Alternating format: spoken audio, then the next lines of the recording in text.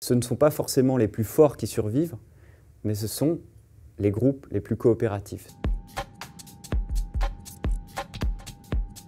En fait, il une idée reçue euh, qui veut que la loi de la jungle soit la compétition, l'agression, la lutte de tous contre tous, et que ça soit l'unique loi de la jungle.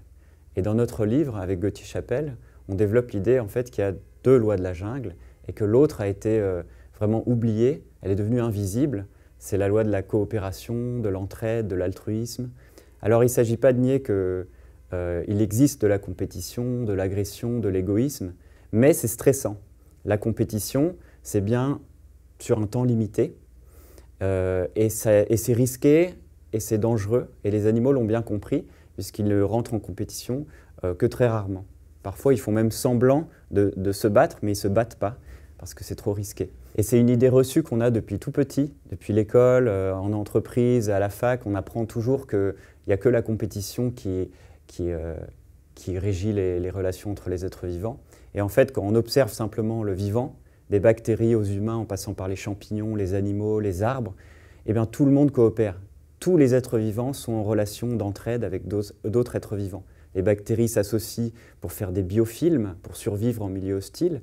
Euh, les lions chassent, mais les lionnes s'associent, coopèrent pour chasser. Euh, les arbres s'associent, euh, s'échangent des nutriments via les racines. Ils s'échangent même des nutriments entre l'espèce différentes, des plus forts aux plus faibles. les, les manchots s'associent aussi, se regroupent pour résister aux conditions hostiles, au froid en, en Antarctique. Ce principe qui associe les êtres vivants, donc coopération, altruisme, mutualisme, il est là depuis 3,8 milliards d'années.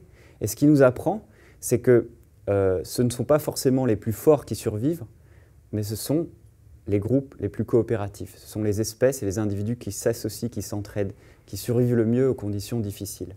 Et ce qui est fascinant, euh, c'est que depuis les années 2000, il y a un nombre euh, assez important de découvertes. Alors à la fois sur le fait qu'il n'y a pas que les sociétés animales et humaines, il y a aussi, on pourrait dire, des sociétés chez les plantes, les bactéries, les champignons, mais aussi il y a des travaux en sociobiologie, de ce qu'on pourrait appeler euh, la nouvelle sociobiologie, qui, euh, qui met à jour cette discipline qui est en fait l'étude des sociétés animales et qui avait une réputation sulfureuse depuis 40 ans. Depuis 40 ans, les scientifiques euh, travaillent sur l'hypothèse que c'est la proximité génétique qui provoque l'altruisme. C'est parce qu'on est frère qu'on va s'entraider.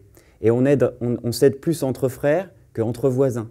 Et on aidera plus un voisin qu'un étranger. Alors vous imaginez euh, au niveau idéologique ce que ça peut faire euh, pour les humains. Donc c'était la réputation sulfureuse de cette euh, discipline. Aujourd'hui, le paradigme est inversé. Et la nouvelle hypothèse, c'est que ce sont les conditions du milieu, difficiles, hostiles, les, pénuries, le froid, etc., qui provoquent l'entraide entre les individus. Et une fois qu'on qu'on s'associe, qu'on fait un nid, euh, à ce moment-là, on commence à vivre ensemble et apparaît la proximité génétique. Donc c'est parce qu'on s'entraide qu'on a de la proximité génétique. Et là où c'est intéressant, c'est que dans cette nouvelle sociobiologie, euh, émerge l'idée que dans la nature, il y a, deux, il y a, un équilibre de deux forces euh, en permanence. Au sein des groupes, c'est plutôt l'égoïsme qui va prendre le dessus sur l'altruisme. Les individus égoïstes vont euh, mieux réussir et vont finalement euh, détruire la cohésion des groupes.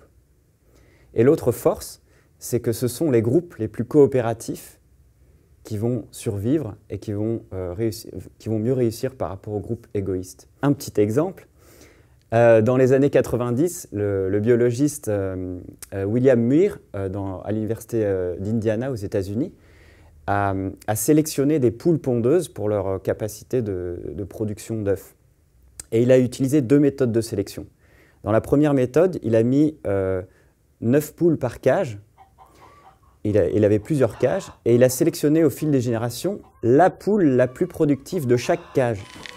Puis il en a fait des super cages avec des super poules.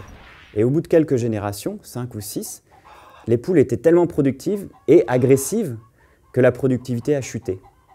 Et dans une autre méthode, il a sélectionné globalement les cages les plus productives. Mais ces cages les plus productives, elles étaient hétérogènes. Il y avait des poules fortes des poules faibles, des poules, productives, des poules moins productives.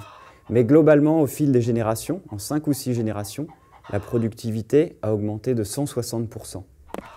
C'est-à-dire que dans ce cas, la sélection de groupe a mieux marché que la sélection individuelle. Alors chez l'humain, euh, il y a de la coopération, de l'entraide partout. Euh, nous sommes une espèce ultra sociale, nous les humains. Alors d'abord, euh, tous ces principes du vivant, la nouvelle sociobiologie, elles fonctionnent aussi chez l'être humain.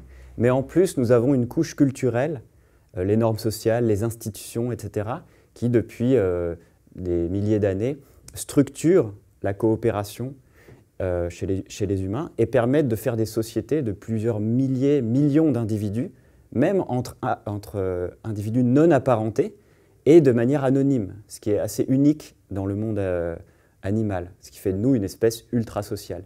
Et nous avons même une propension à l'entraide spontanée. C'est très profondément ancré en nous. En fait, nos ancêtres se sont entraidés en milieu hostile, et c'est parce qu'ils se sont entraidés que nous sommes là, et c'est rentré même dans notre patrimoine génétique, dans notre biologie. Nous avons des, aptitudes prosociales extrêmement puissantes.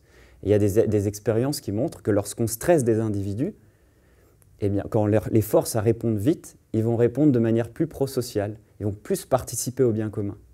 Et quand on leur dit de, réfléchir, de se poser, d'attendre pour répondre, eh bien, ils se comportent de manière plus égoïste, ou ils participent moins au bien commun.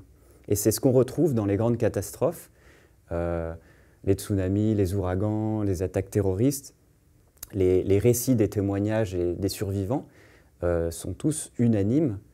En temps de catastrophe, quand on est hyper stressé, en conditions exceptionnelles, sort de l'auto-organisation, du calme, et de l'entraide et de l'altruisme. Et de l'altruisme exceptionnel en situation exceptionnelle. C'est l'un des exemples. En 2005, euh, lors de l'ouragan Katrina à la Nouvelle-Orléans, on a cru, le chef de la police en tout cas, a fait croire qu'il y avait des, meurtres, des pillages, des viols, etc. Et ça a justifié l'envoi euh, de policiers armés jusqu'aux dents et stressés.